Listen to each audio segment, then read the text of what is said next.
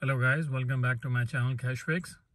Today we're working on a 2007 Lexus ES350 and resetting the uh, maintenance light after the oil change.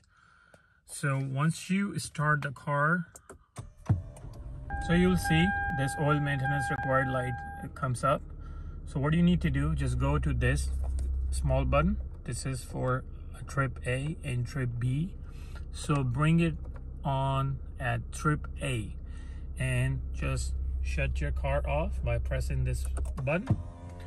Once it's fully off so the next step you need to hold this hold this button the trip button hold it and press this button twice. Just make sure do not start the car.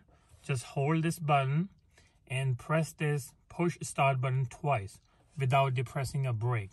So let's go ahead and do that Okay, hold this button and press this button twice. All right, and this is, there you go. It's went away, so maintenance has been reset. Go ahead and start your vehicle.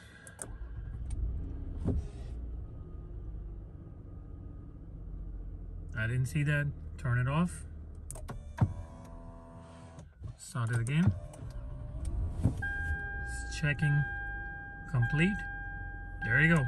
This is so simple. This is how we do a maintenance oil reset in the 2007 Lexus ES 350 uh, I'd also the same way to do it from 2007 to 2012 Lexus models. I hope you you like this video helpful. And if you like this video please don't forget to thumbs up and like and subscribe my channel stay tuned for the next video. Thank you very much